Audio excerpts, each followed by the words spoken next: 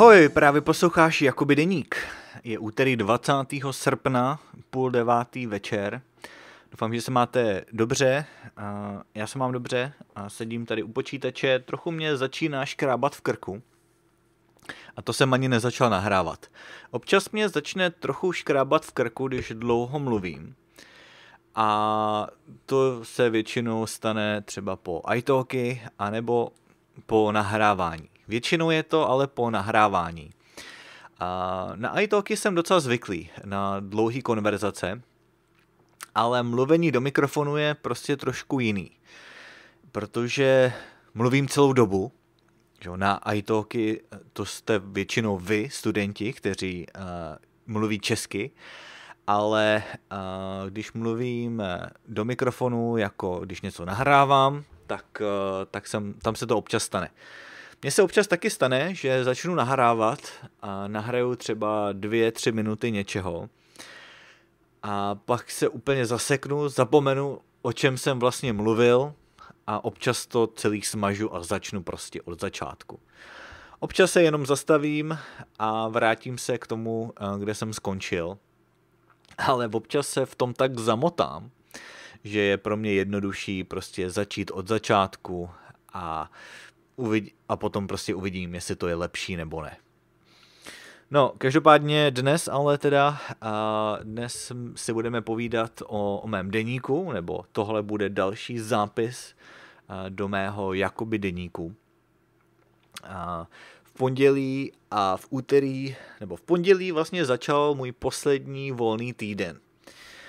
A protože manželka chodí do práce, samozřejmě, a teda a pracovala v kanceláře, a tak jsem byl doma sám a nevěděl jsem, jak ten čas vyplnit.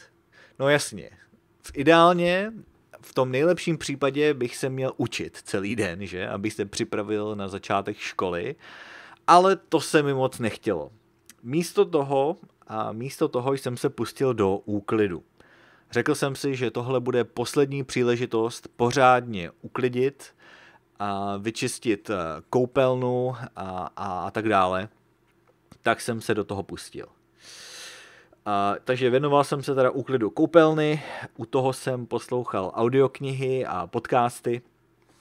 No a slyšel jsem taky rozhovor s Annie Jacobson, a, což je autorka, která píše velmi zajímavé knihy a nedávno napsala knížku o takovou docela, a, takovou docela hrozivou, nebo no, řekl bych hrozivou, opravdu takovou děsivou knihu o termonukleárních zbraních a vlastně o termonukleární válce.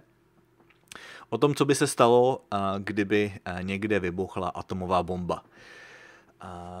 Samozřejmě to se už nestalo asi 80 let, že? Je to asi 80 let od, od té doby, co američani schodili bombu na Nagasaki a na Hirošimu.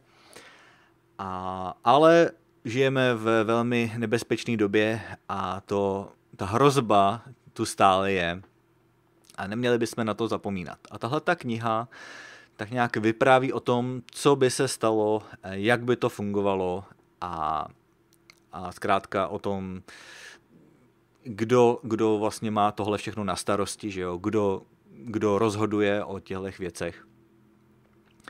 Takže, uh, takže si to určitě přečtu. Uh, já jsem tu knihu teda ještě nečetl, nemám ji, ale určitě si ji koupím.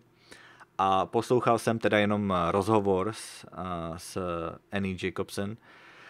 A je to teda, uh, je to docela takový těžký téma, že jo, dost vážný, ale myslím si, že to je něco, co bychom měli, na co bychom měli myslet a ne, aby jsme měli strach, aby jsme žili ve strachu, ale zkrátka, aby jsme žili v nějaké realitě a věděli jsme, že něco takového bychom zkrátka neměli riskovat a měli bychom se to snažit tomu zabránit. Měli bychom se snažit tomu zabránit za každou cenu.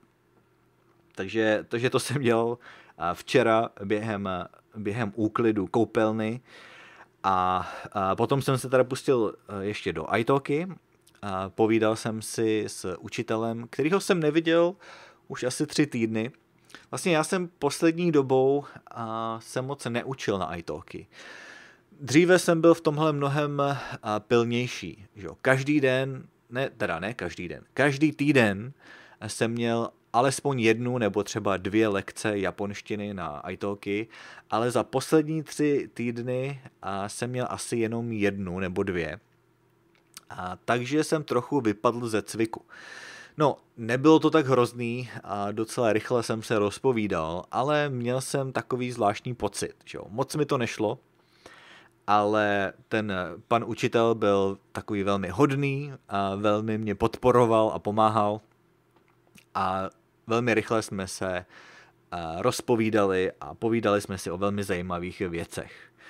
A povídali jsme si o mý návštěvě a, že, rodičů mý manželky povídali jsme si o, o kasínech, protože že oni bydlí v Nevadě a tam je těch kasín opravdu hodně. Takže to byla docela zajímavá diskuze a povídali jsme si teda o, o takových hazardních hrách a podobně. Já už jsem o tom asi kdysi mluvil. Já nejsem žádný hazardní hráč, já se naopak vyhýbám riziku, jak jen to jde. Obzvláště pokud je velmi nízká pravděpodobnost, že bych něco vyhrál nebo že bych z toho něco měl. Takže kasíno mě neláká. Takže o tom jsme si povídali a o dalších věcech. Povídali jsme si o Československu a podobně velmi zajímavá diskuze. Takže to bylo, to bylo pondělí a potom teda a jsem, co jsem dál dělal? Trochu jsem se učil, jak jsem říkal, můj příští semestr začíná už za týden, a, takže to se opravdu blíží. A, pouštěl jsem si nějaký videa na YouTube, kde byly takový shrnutí a prostě takový opakování. To je pro mě asi nejjednodušší. Snažil jsem se přečíst si svoji starou učebnici nebo eh, prolistovat si svými poznámkami, ale nějak jsem se do toho nemohl dostat. A tyhle ty, tyhle ty schrnutí na YouTube jsou opravdu hodně užitečný. Je to mnohem, je to mnohem jednodušší. Je to takový nenás, eh, nenásilný způsob, eh, jak něco zopakovat. No, takže to bylo pondělí, no a dnes v úterý to bylo velmi podobný. Dneska jsem pokračoval v úklidu, a opravdu věnoval jsem se tomu několik hodin. A stejně jako včera, poslouchal jsem u toho zase nějaký podcasty, audioknihy a tak nějak prostě jsem se věnoval nějakým těm domácím pracem. Taky jsem konečně láhvoval, nebo nalil jsem do lahví svůj cider. Myslím si, že chutná docela dobře, ale ještě, ještě to není úplně vyladěný. Myslím si, že ten cider zkusím znova třeba za měsíc, až na to budu mít trochu čas a hlavně, až vypiju všechno tohle, co tady doma mám, nebo až to někomu dám, že? až to rozdám. A, takže, takže takový je plán. No teď uh, už je teda uh, po půl devátý večer. A ještě si možná přečtu pár stránek z nějaký knížky, abych se taky abych trochu potrénoval čtení a půjdu spát. A jo, jinak teda manželka mi dokonce dneska ostříhala vlasy, na to jsem úplně zapomněl. A, tak za to jsem jí velmi vděčný, protože nerad chodím ke kadeřníkovi. A chodil jsem ke kadeřníkovi, když jsem bydlel v Česku, protože můj kamarád je kadeřník a je velmi talentovaný a vždycky to byla skvělá příležitost si popovídat ale tady v Americe moc, moc to nemám rád, takže uh, o, vlastně od, od covidu, od té doby, uh, co vlastně asi jo, několik měsíců uh, byly kadeřnictví zavřený, tak od té doby mi stříhá vlastně manželka a myslím si, že už se to docela naučila. Na začátku z toho měla taky trochu strach, ale opravdu o nic nejde. Že jo? Já těch vlasů stejně moc nemám a, a ty vlasy, co máme, za chvíli stejně dorostou, takže, takže to je úplně v pohodě. Takže to je teda všechno, co se dneska dělo. No a my se uslyšíme v další epizodě, což bude pravděpodobně v pátek, ale mezi tím nás ještě čeká čeština s Michalem. Takže to je teda vše, mějte se krásně a uslyšíme se zase příště. Ahoj.